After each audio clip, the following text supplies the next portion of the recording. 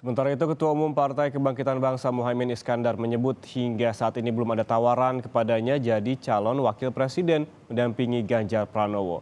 Muhaimin Iskandar juga menyebut masih berkomunikasi dengan Prabowo karena ada tambahan partai yang bergabung dalam koalisi. Ditemui saat bertemu kader dan simpatisan serta warga di Surabaya, Jawa Timur, politisi yang akrab disapa Caimin ini juga menyatakan berencana bertemu dengan Ketua Umum PDI Perjuangan Megawati Soekarno Putri dalam waktu dekat.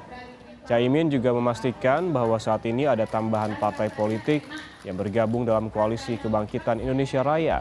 Namun parpolnya masih dirahasiakan karena masih menjalin komunikasi dengan Prabowo.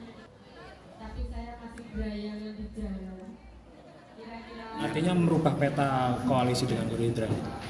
Enggak ada tawaran itu. Enggak ada tawaran.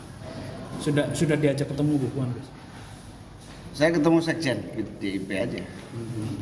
Kacan- Katanya nanti mau diajak ketemu Bu Mega. Tapi kalau ditawari di cawapres Pak Ganjar gitu Gus siap Gus. Belum ada yang nawarin.